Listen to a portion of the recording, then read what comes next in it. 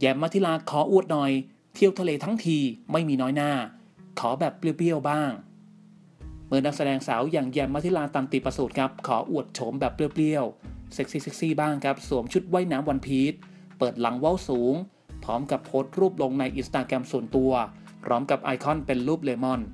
ต้องบอกว่าก่อนหน้านี้ครับเห็นสาวแยมในลุคนิ่งๆหวานๆดูมาดคุณหนูคุณหนูหน่อย แล้วก็ไม่ค่อยได้มีโอกาสเห็นภาพเซ็กซี่ของเธอบ่อยนัก ว่าแล้วงานนี้จะเปรี้ยวเข็ดฟันขนาดไหน ก็ต้องลองไปชมกันแล้วล่ะครับ อีกหนึ่งช่องทางข่าวบันเทิงนะครับ ที่คุณจะสามารถติดตาม และอัปเดตข่าวสารไปพร้อมๆ กันได้เลยนะครับ อย่าลืมกดติดตามชมซุปเปอร์สตาร์ดารา